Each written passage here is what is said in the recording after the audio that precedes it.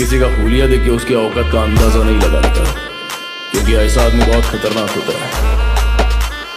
हुलिया ही बदल डालता है।